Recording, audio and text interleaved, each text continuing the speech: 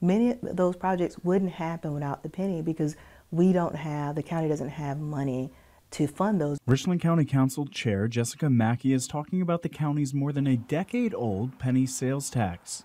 The Transportation Penny program is nearing its end, but Mackey says more work needs to be done.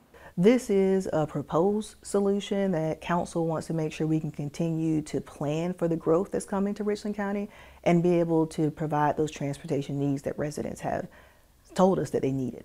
Back in 2012, Richland County put the penny tax program in place after voters approved a plan that would last 22 years or generate a little more than $1 billion. The money generated has been used to pay for a number of road and transportation projects around the county, including sidewalks so people can safely walk and widening areas like Clemson Road to allow for a smoother commute.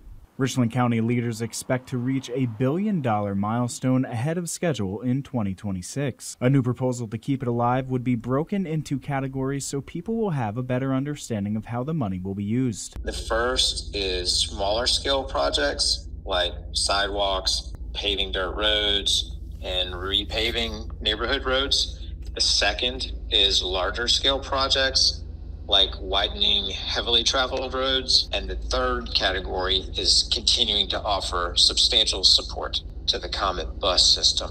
Without a new transportation penny, which is a large part of the Comet source of funding, the Comet would not be able to continue to operate. And that is a, a source that is needed for many of our residents. Now, this proposal is far from being official as Richland voters still have to vote on this in the November election. But before then, there will be a public hearing on July 9th, followed by a session on July 16th, where they will get the final numbers for this proposal. In Richland County, I'm Joey Matei. WACH Fox News, local first. To stay up to date with this story and more, make sure you subscribe to our WACH Fox YouTube page. Be sure to like, comment, subscribe, and click that notification bell so you never miss an update.